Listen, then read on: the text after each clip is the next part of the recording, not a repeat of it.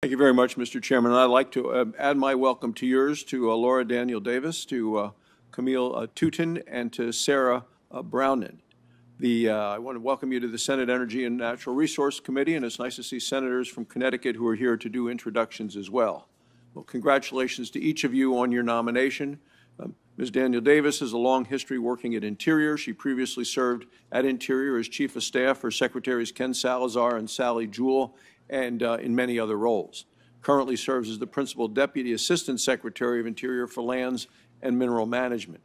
Under Daniel Davis' supervision, Interior imposed an oil and gas leasing moratorium on federal lands.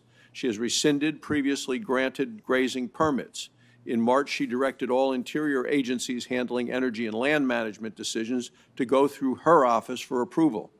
This action undermines energy projects on federal lands. It creates unnecessary bureaucracy and backlogs. It causes delays and uncertainty, and it causes significant costs and headaches. We need someone in this important role who understands and supports the need for U.S. energy security. It's all the more critical based on the actions that the House Democrats are taking on their $3.5 trillion rec reckless tax and spending blowout. The House Natural Resource Committee just passed legislation that will effectively kill oil, natural gas, coal, and hard rock, hard rock mineral production on federal lands and in federal waters. If enacted, it would surrender America's energy independence and make us dependent on OPEC, on Russia, and on China. It will cost thousands of U.S. jobs, devastate communities in New Mexico, Wyoming, Louisiana, Nevada, Colorado, and Montana. We need leadership at the Department of Interior that recognizes the importance to our international competitiveness of maintaining robust energy and mineral development on federal lands and waters. Ms. Touton has been nominated to serve as Commissioner of Reclamation at the Bureau of Interior's Bureau of Reclamation. She has experience working at Interior on issues relating to the Bureau of Reclamation, including the Deputy Commissioner of the Bureau of Reclamation since January and as Deputy Assistant Secretary for Water and Science during the Obama administration.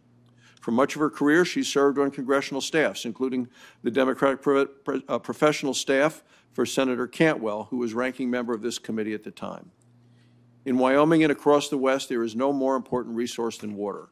Our agriculture, industry, cities, forests, and wildlife all depend on strong and healthy watersheds. This committee needs a commissioner who will work with members of both parties to strengthen desperately needed Western water infrastructure, to improve Interior's management of water resources, and to listen to state and local officials. I think that she is up to the job. Lastly, Ms. Braun is, uh, has been nominated to serve as chairman of the Advisory Council on Historic Preservation. If confirmed, she'll be in charge with uh, ensuring that historic preservation needs are balanced with federal project requirements. She will also make recommendations regarding historic preservation to the President, to Congress, and to the heads of other federal agencies. She currently serves as a professor of the City of City and Regional Planning at Cornell University's College of Architecture, Art, and Planning and a professor at Cornell Law School. She has experience in the historic preservation field, including serving as an advisor to the National Trust for Historic Preservation. I'm interested in hearing more about uh, her views on the role of this council in advising others on the designation, preservation, and rehabilitation of historic sites. So I look forward to hearing her explain her vision for the council.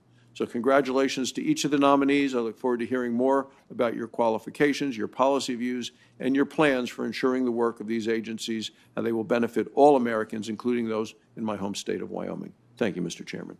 Thank you, Senator.